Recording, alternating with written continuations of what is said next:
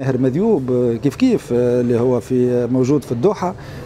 فمباشر زاد المشاكل هذيا شوف ثم باش نحكيو على التأشيرات والحكايات كي هذيك هذيك باش تبدأ واضحة وهي ماذا بيا معناتها الإخوان اللي باش يسمعوا معناتها une fois pour toutes نتفقوا على النقطة هذيا ثم أمور سيادية.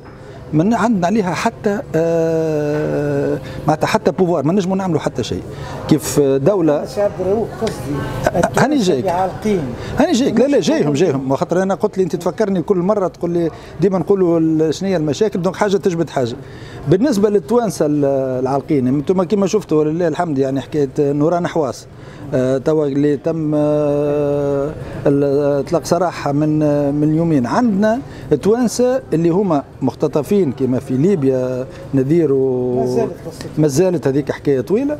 إنما ثم ناس اللي أنا نسميهم عالقين اقتصاديا إيش معناتها؟ معناتها يمشيو غاديك كما قلت أنت avec des papiers ولا des faux papiers وللأمانة زاد نقولوها ثم ناس اللي تغامر وتمشي بتأشيرات اللي هي تأشيرات زيارة ولا تأشيرات سياحة ويحاولوا باش يقعدوا غاديك.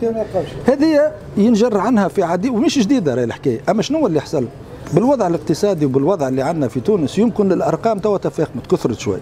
أما هذا كان موجود راه من طول عمرها موجود. وتسأل السادة القناصلة ولا السفراء هنا كيف الملفات اللي عندنا نتاع التونسيين العالقين.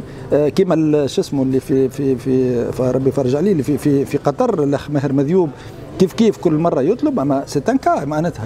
وديكا كي هكا أنا ديما نقول اني با لو راهو ثم ناس يمكن قاعدة السوبي الحكاية دي الحل الحل أكيد باش يجي بال بال على الناحية السياسية وعلى العلاقات يعني اللي تربطنا بال بالدول هذه اتطرقنا للموضوع هذا مع سي في الآخر لقاء مع سي رضوان عيارة. يلون في اون دو سي بريوريتي مش هو برك حتى سي خميس الجناوي وزير الخارجية.